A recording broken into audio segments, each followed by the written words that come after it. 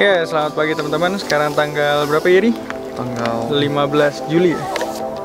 15 Juli 15 Juli 2019. Hari ini kita mau ke Paris. Kita akan ke Paris naik bus dari Stein sini.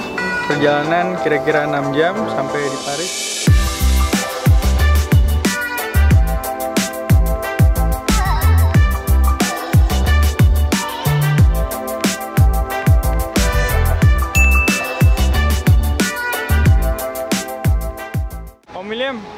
Ngantuk, ngantuk. Kopi? Tapi bisa bangun. Mah, capek mah, ngantuk. Hah? Udah, kita udah di Prancis. Oh, gimana? tadi ngomong Jawa, ngomong Jawa. Jawa. Orang Indonesia. Ya teman-teman, Jerry mau ngasih sedikit informasi nih soal Prancis gimana ya? jadi sedikit informasi aja kalau kota-kota di luar Prancis namanya apa tadi La La Sentinel. La Sentinel mereka eh, lebih membelajarkan bahasa Prancis daripada bahasa luar Oh, gitu. jadi tadi eh, orangnya benar-benar nggak mau ngomong bahasa Inggris hanya mau ngomong bahasa Prancis Jadi gimana cara cara kamu beli? bahasa Tadi? kalbu bahasa kalbu, jadi kayak kode.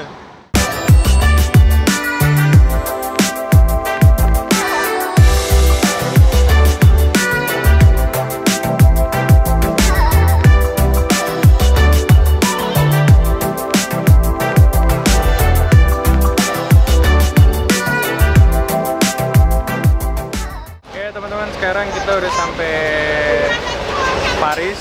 Kalian bisa lihat di belakang kita. Eiffel Tower. Sekarang nih jam 10 lewat 15. Kita berangkat dari jam 3 pagi. Kita berhenti di perbatasan Belgia Prancis jam 6. Tadi macet men, pas kita masuk ke ibu kota Paris macet banget. Dan ya, finally. Ma gimana mas sampai Paris ma? Hah? Capek? Enggak ya? Enggak capek ya? Nggak Enggak terlalu? kayak kita kalau kita dari Jakarta ke Semarang gitu. Keisha belakang kamu ada sesuatu sayang? Nih sandwich udah aku bikinin. Ya ampun sayang, makasih ya. Nih nih. Sandwich apa tuh? Isinya eh, cheese, cheese, bacon, beef, sama saus cheese, sama Oke. sambal. Kamu bisa, kita kok piknik ya? Kita di Paris piknik. Iya piknik. Ya, makasih ya sayang. Iya nih.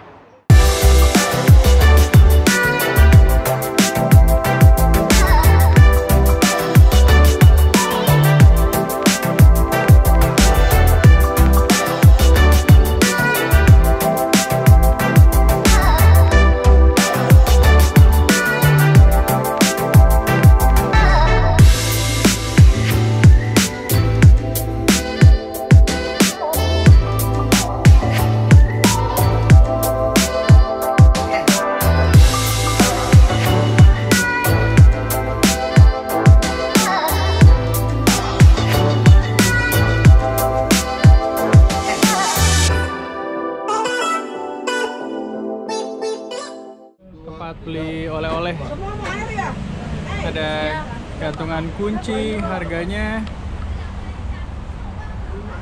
3 euro per piece, tapi kalau 4 euro dapat kalau 4 piece 10. 3 euro satu piece. Tapi 4 piece 10 euro. Gimana sih? lebih satu satu euro jadi 40 40 Hah? euro Oh, gitu. 40 euro iya dong. Ini 0,5.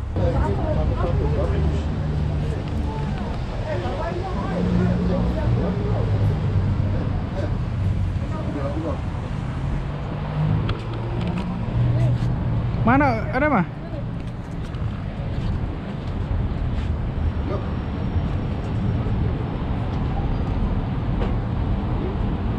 Ya teman-teman untuk eh, tambah informasi kalian di Paris tuh lebih enak jalan kaki ya sayang ya? Hah? Iya, di suasananya dingin, di, dinginnya enak, panas, dingin panas, jadi kayak anginnya dingin, tapi kita dapat eh, hangat dari matahari sayangnya Hah? iya tapi kayak kayak gini-gini nih nanti karena dingin tapi ada matahari tiba-tiba hitam aja nggak berasa iya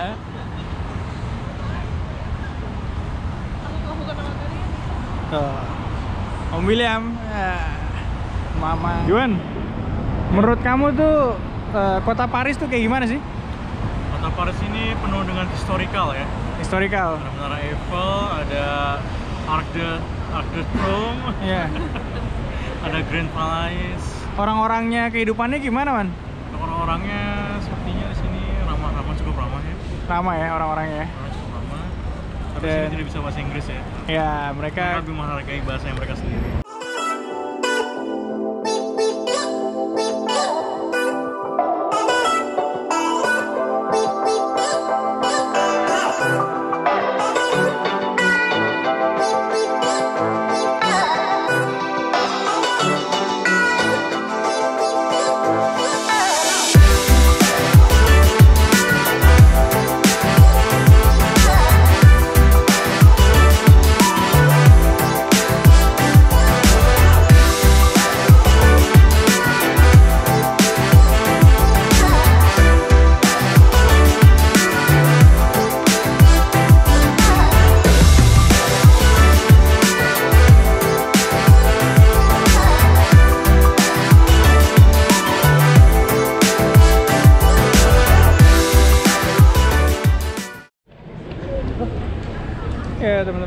Sekarang kita udah sampai di depannya persis Arc the Trophy.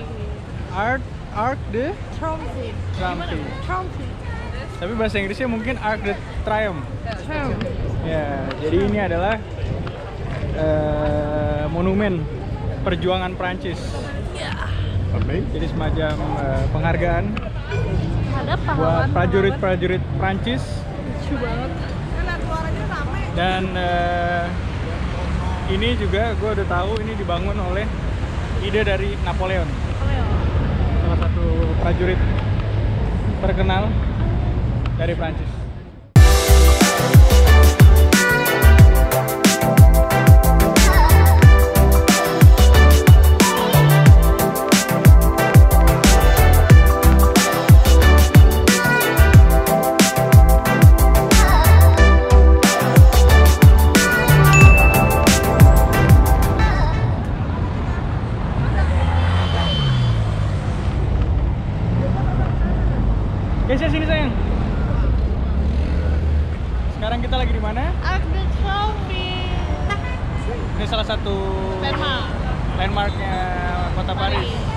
Just then. Beli apa Ngomir?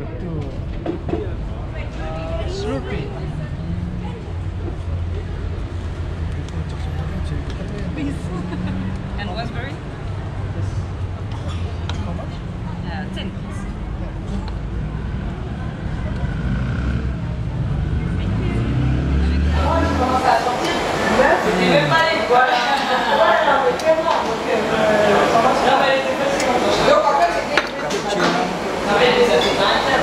Dari Paris. From Paris with love.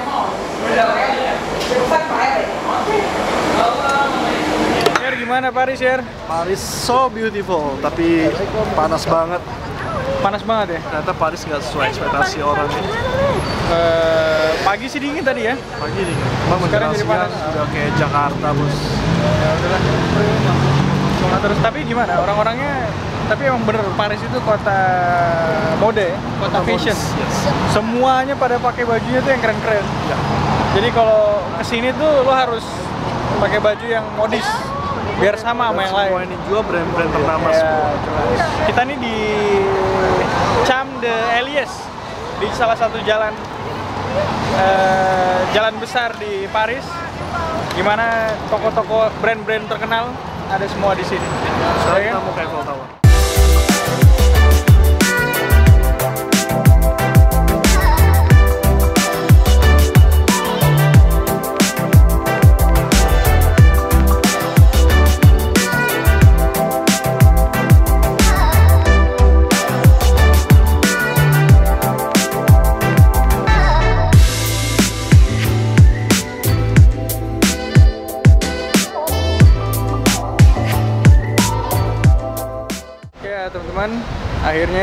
Kita semua sampai di Menara Eiffel. Kalau kita lihat ke belakang, set.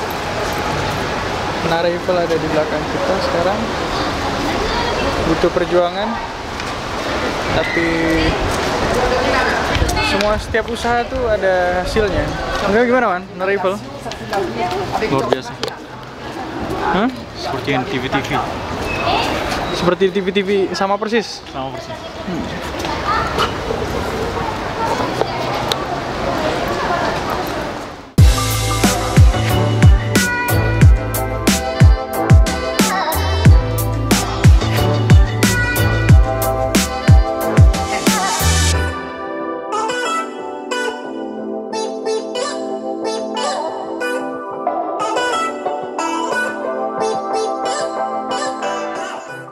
Kamu naik apa ya? Kita di Thailand apa di Paris? Hah? Seru nggak? Seneng nggak kamu ya? Nyangka ya, Nggak nyangka ya? dengan duit pas-pasan bisa. Mujizat itu nyata. Juan, seneng nggak man? Kita ke Eiffel man? Musisat.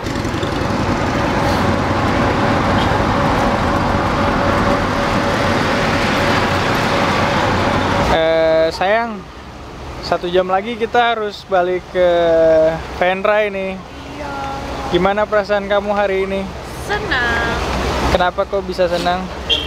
Paris itu salah satu cita-cita aku. Buat datang ke Paris itu salah satu cita-cita aku.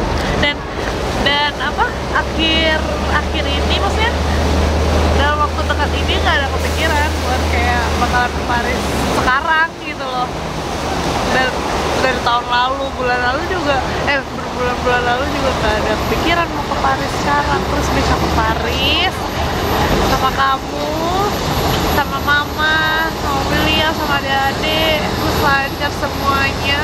Ya bersyukur Tuhan udah kasih kesempatan ke Paris gitu.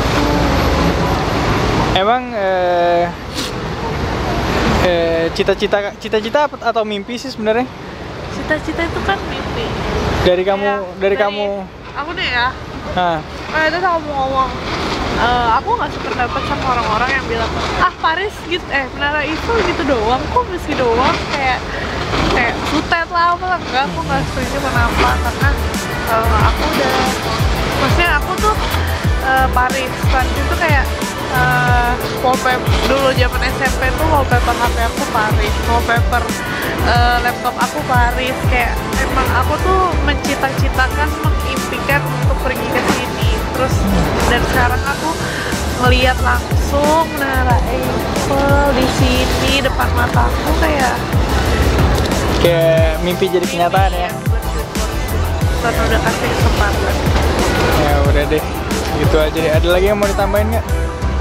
Eh gitu kak. Apa aku mau bilang aku mau kasih pesan ke semuanya. Kalau misalkan kalian punya mimpi kalian punya cita-cita itu ya harus yakin kalau eh, apa namanya ada waktunya cita-cita dan mimpi kalian itu akan terwujud dalam waktu Tuhan gitu. Udah. Oh, oke closing dong sayang ya udah. Apa ya? Segitu dulu vlog dari Andreas di Paris vlog dari kita di Paris. Tungguin vlog-vlog selanjutnya. Dah